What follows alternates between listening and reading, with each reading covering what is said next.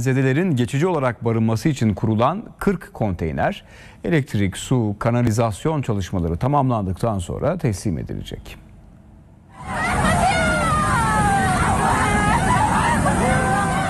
Van'ın Başkale ilçesine bağlı Esenyamaç mahallesinde 31 Temmuz'da sel felaketi yaşandı. Sel önüne ne kattıysa götürdü. Birçok ev ve ahır yıkıldı, bazıları ise ağır hasar gördü. Felaketin ardından yaraların sarılması için yetkililer harekete geçti. İl Afet ve Acil Durum Müdürlüğü vatandaşların geçici olarak barınması için konteyner kent alanı oluşturdu. Sel e, esnasında yıkık ve ağır hasarlı evlerimiz vardı. Çadırlardan sonra tabii ki e, buranın kış şartları biraz daha erken başlar.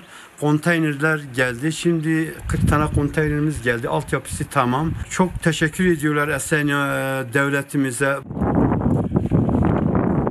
Esenimiz bir gün yani boş olmadı. Ya bakan geldi, ya milletvekili geldi, ya vali geldi, ya kaymakam geldi. Ev yıkılanlar, ev yıkılmayanlar hep burada kalacak. Devletimize çok çok teşekkür ediyorum.